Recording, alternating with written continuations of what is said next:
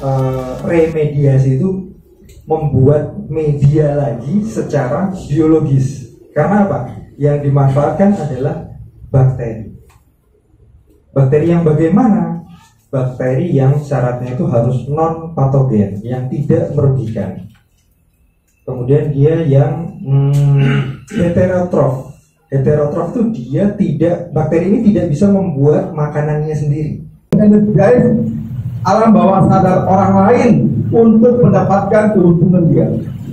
Coba lo bayangkan, pada saat dia bulan pertama, pada saat dia udah bulan pertama, uh, 50, 50, 50. Lah kata dia apa? Jangan diem aja apa juga ya.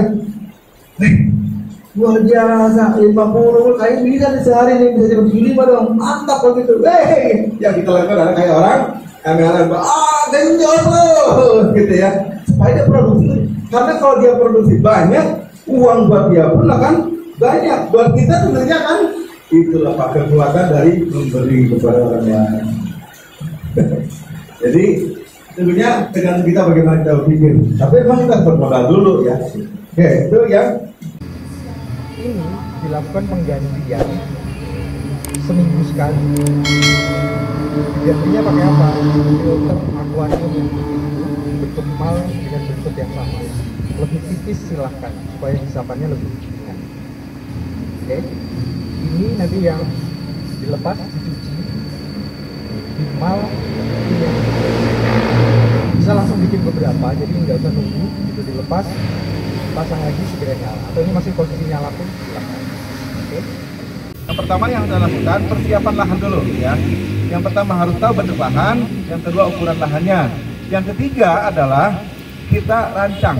Kalau diameter 4 ini, kalau saya merancangnya biasanya untuk diameter 4 ya kasih kotak, kotak aja, kotak 4 ya. Nanti kita mau naruhnya di mana, mau kayak gambar-gambar kayak kemarin saya sampaikan kan menarik, bisa aja seperti, seperti itu. Saya saya ya, kita bikin saya. Nah, ternyata dari lahan Anda misalnya itu bisa membuat 20 nggak apa-apa itu set plan-nya atau master plan-nya bikin aja dulu ya atau kabel tis ya ini dalam ya. Ini pakai itu dikuncinya. Supaya supaya eh, tidak bergerak-gerak.